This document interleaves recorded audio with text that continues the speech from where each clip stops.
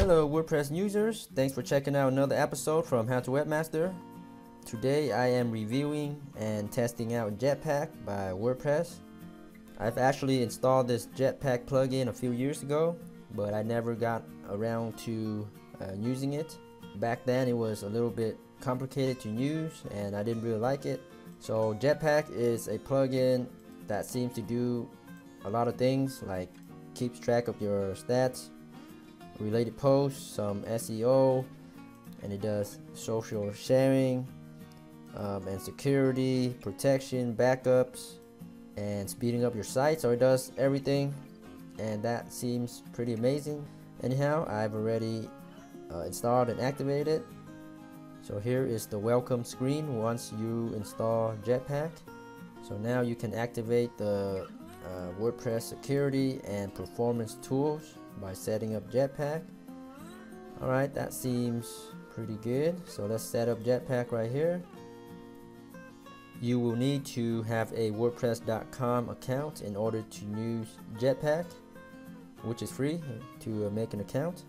And then you need to authenticate your WordPress account with your Jetpack setup here.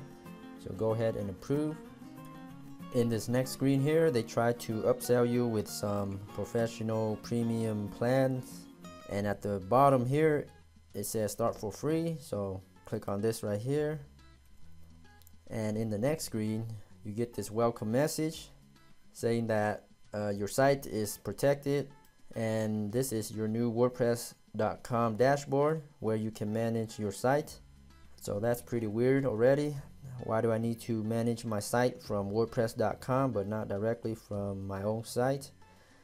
Uh, why have two dashboards? So that is not too efficient. Okay so here on the left sidebar you see the stats the plan the site. So this entire sidebar is uh, pretty much the same as your WP admin no difference so far. And you can go back to your WP admin by clicking here so yeah, I don't see the point in using this dashboard when I already have my own dashboard. Okay, anyhow, let's set up these other things here.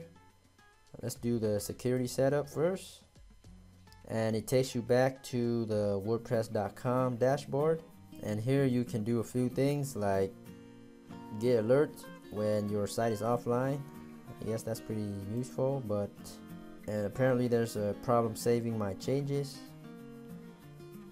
now let's see if I can click on this to prevent and block malicious login attempts. Okay, that worked. That's pretty much it for settings. Uh, for the security settings, let's save. And this anti-spam thing is you need an upgraded plan. Alright, let's go back to my WP admin again. Alright, let's make my site faster. So click to enable okay that seems pretty easy.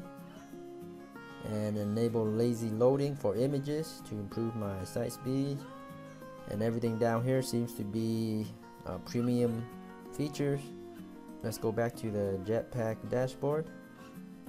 So this is where you can view your site stats.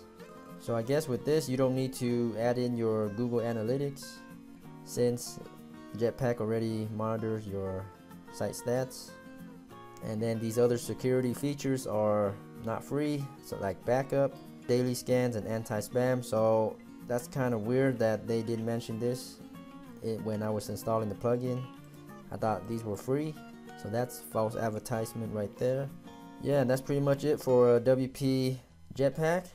It seems to be a pretty bloated plugin with a bunch of these features but honestly I still don't like Jetpack and the setup was slightly confusing as well with the two dashboard. Not sure why that is the case not necessary. So anyhow that's my review of jetpack. Thanks so much for viewing. Be sure to subscribe to how to webmaster for more internet marketing tips tricks and more wordpress reviews. Thanks again and happy blogging